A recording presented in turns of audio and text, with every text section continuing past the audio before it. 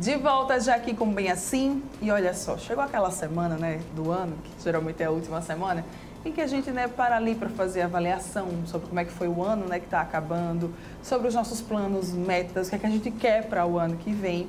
Mas também pode acontecer algumas frustrações, algumas expectativas ainda que não foram alcançadas.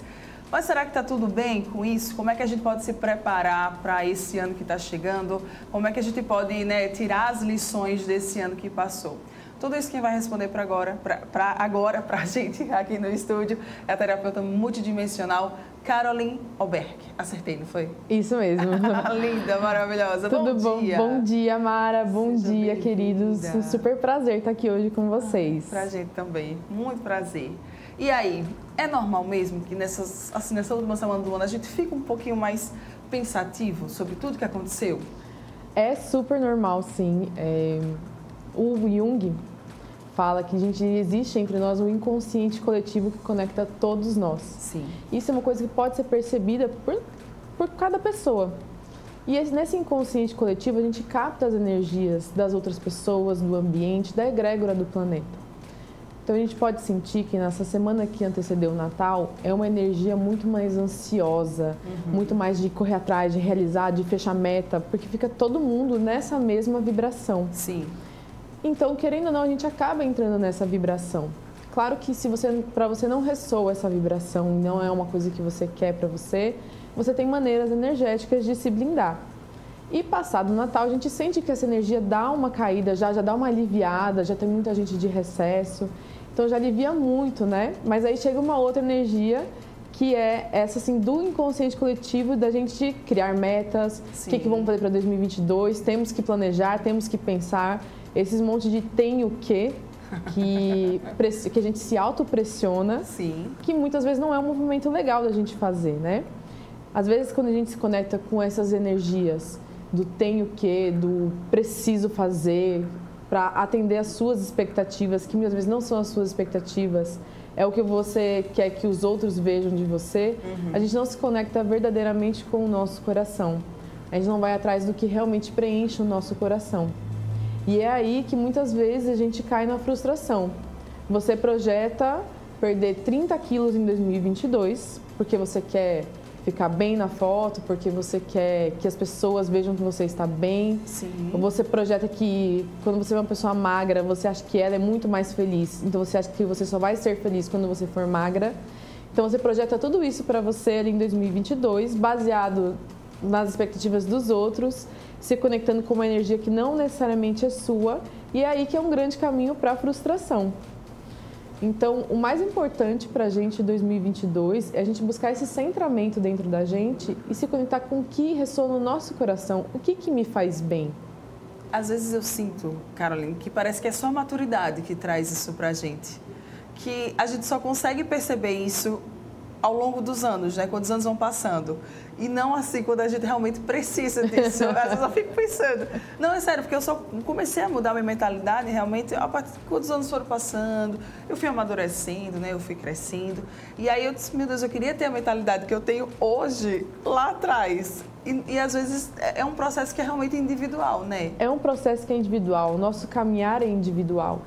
Existem várias maneiras de você chegar no mesmo objetivo, vários caminhos. Tem alguns caminhos que não são tão legais. Por exemplo, é uma pessoa que quer emagrecer os 30 quilos, Sim. vai tomar um monte de remédio, alguma coisa, ela vai emagrecer. Mas aquele caminho não construiu o que ela precisava para chegar nesse objetivo, que é essa maturidade, que a gente chama na, nas, das terapias holísticas de expansão da consciência. Uhum. Você expandir a sua consciência para entender que para chegar do ponto A para o ponto B, você faz um caminho. E nesse caminho, por exemplo, do emagrecimento, que é uma coisa assim, super focada agora, né? Todo verão, corpo quer, né? verão. Né? Isso. Então, nesse caminho existe toda uma maturidade, uma expansão de consciência que você vai vai trazer para você um autoconhecimento, de você entender o seu corpo, de você perceber que, por exemplo, ah, eu funciono melhor só à noite. Mas por que, que eu funciono só melhor à noite? Se nós, assim, como seres mesmo, na nossa parte bicho, animal, a gente respeita o nosso ciclo circadiano, à noite a gente dorme.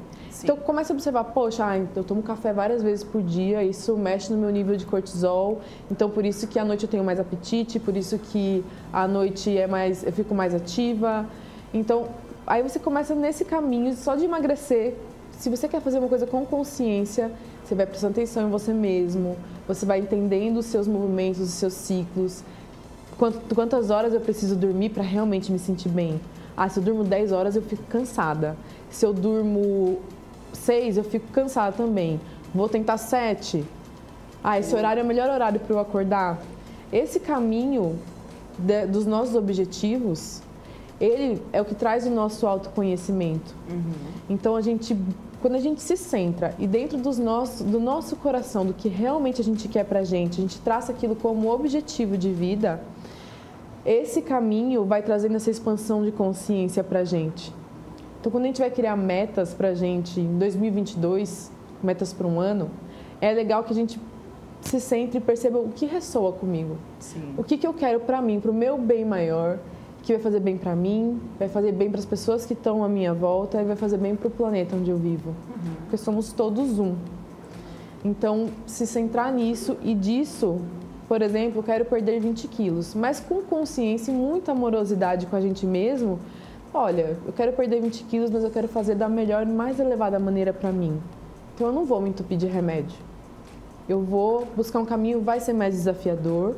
Não vou conseguir minha meta em 2022, mas em 2023 eu vou. Então, para 2022 eu vou projetar 10 quilos. Eu Sim. acho que esse eu consigo, então eu vou. E aí nisso você vai, você vai criar um caminho. E aquele seu objetivo que você traçou, ele vai ser só uma parte da. É, é aquela, aquela máxima que a gente fala, né? O mais importante não é chegar no topo da montanha, é sobre a caminhada. É sobre, é sobre a escalada. É, é sobre verdade. a escalada que você vai, nisso você vai ali fortalecendo suas virtudes, seu autoconhecimento, você vai expandindo a sua consciência. Uhum. E conforme você vai expandindo a sua consciência, você é capaz de trazer mais dessa energia elevada para você, para as pessoas à sua volta e para o planeta. Sim. Que é diferente da energia que muitas vezes a gente sente hoje. Nem eu estava falando que duas semanas, essas duas últimas semanas antes do Natal, é energia de muita ansiedade. Porque a gente tem hoje em dia muitas pessoas no planeta que não buscam essa elevação da consciência, não buscam essa expansão, esse autoconhecimento. Todo mundo quer tudo para ontem, no imediatismo. É. A pessoa acha que a vida é um Instagram. É para já. Que é é para já, que é tudo para ontem. Não é assim, é tudo um processo. É tudo um processo. Se até Deus criou o mundo o em sete sabia, dias, é, e assim, ele gente. foi super The Flash, né? Quem, tipo assim, a gente não vai conseguir uma coisa milagrosa assim em sete dias. Claro que tem coisas milagrosas que a gente consegue, que são os saltos quânticos que a gente chama, que são as elevações rápidas de consciência. Uhum. É uma das coisas que a gente trabalha no Theta Healing, que, por exemplo, você está buscando um emagrecimento e nesse caminho do autoconhecimento você percebe que vários caminhos ali sempre tem alguma porta que bate na sua cara que você não consegue chegar. Sim. Ah, acabo descontando na comida, ah, apesar de eu não comer, eu engordo. E aí nisso, o Teta Healing entra como uma ferramenta que auxilia muito a gente a entender por que acontecem certos processos com você que te impedem. Então, o Teta Healing ele é um grande auxiliador para a gente conseguir os objetivos da nossa vida e também diminuir a nossa blindar a gente, né, dessas energias assim do inconsciente coletivo que muitas vezes invadem a gente e tomam conta da gente. Aí você quer emagrecer, mas não consegue não sabe também. Não sabe por quê. Por quê né, Passa no médico A, B, C ou D e não vai.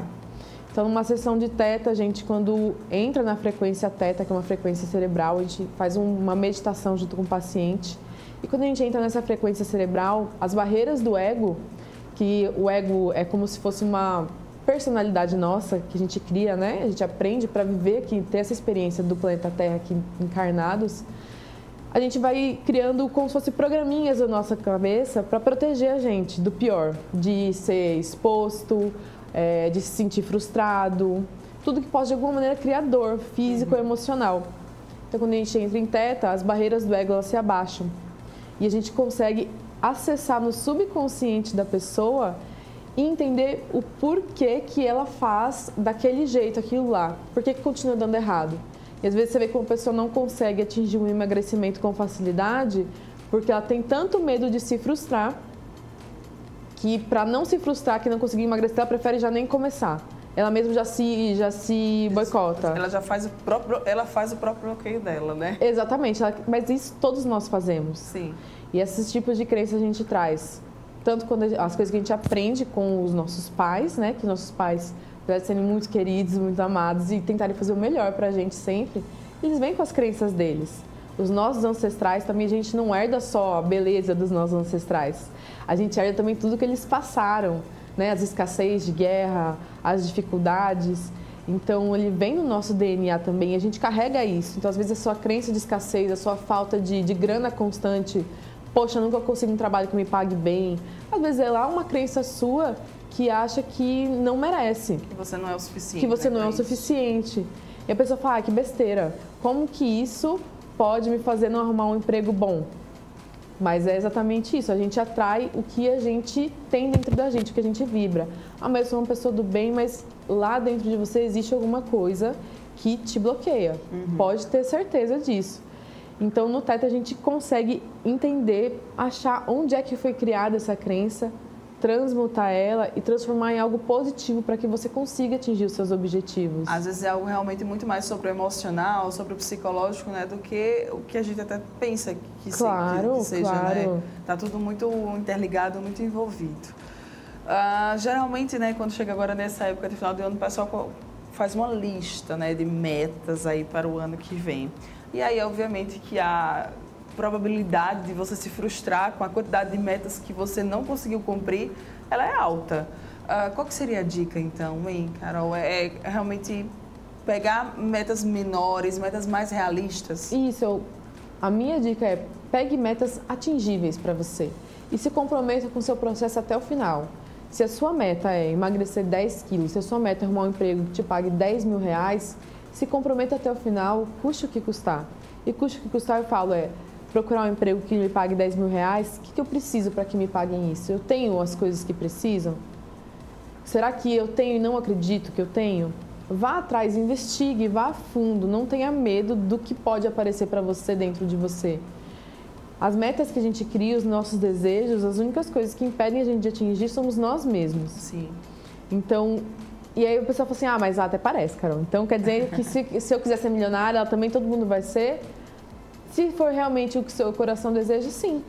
Se é isso que a sua alma veio fazer aqui, faz parte do seu processo, sim. O que acontece muitas vezes é que nesse caminho para nossa meta, nesse processo de autodescobrimento, de autoconhecimento, a gente percebe que não é realmente isso que a gente queria. Sim. Quantas pessoas a gente vê que para ela o dinheiro não é uma coisa que é fundamental ou importante? E essa não deixa de ser uma pessoa abundante e próspera. Ela tem tudo na vida dela. Tudo que para ela é importante. Então, assim, se para você o seu desejo, que sua alma realmente anseia é ser milionária, você vai ser. Pode ir atrás, você vai ser. O que você precisa é quebrar as barreiras que te impedem para que você atinja os seus objetivos. E nessas suas metas de 2022, pense com firmeza o que você quer, o que faz bem para o seu coração. E assim, pense no melhor cenário do mundo, o que faz bem para o seu coração, sem pensar no, ai, mas o meu marido acha isso, ai, mas a minha mãe não vai gostar, mas fulaninho vai pensar não sei o quê. Não, ó, não existe mais ninguém. O que eu quero para mim? Você e você, né? Você e você. Isso não é ser egoísta.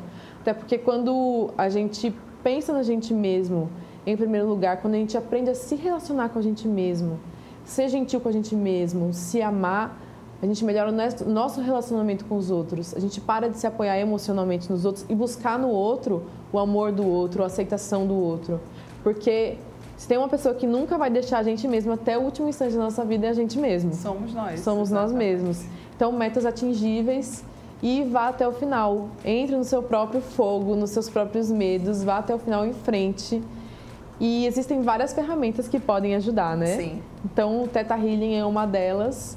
E eu, eu acho que o Teta Healing é uma coisa que é um, salto quântico tão rápido que a gente dá, que assim é uma coisa que você faz o, o Teta hoje e você percebe em pouco tempo as mudanças na sua vida.